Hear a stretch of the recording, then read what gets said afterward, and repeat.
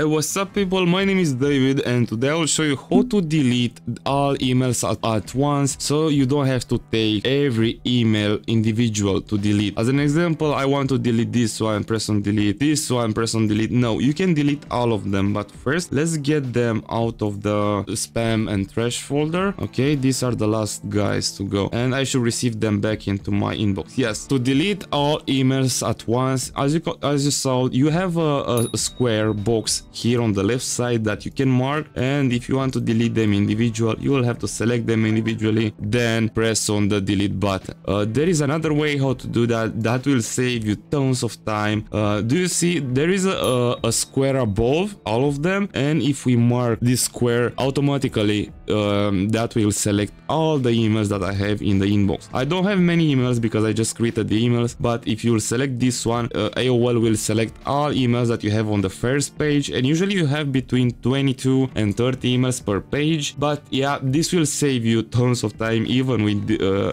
even if that uh, square is selecting only let's say 30 emails at once then clicking on every email individual. I will just mark them all of them then press on delete. So this was the tutorial how to delete every email at once. I really hope i help you with this tutorial. Don't forget to leave a comment and thumbs up the video. Please have the greatest day you can possibly have. Have a nice day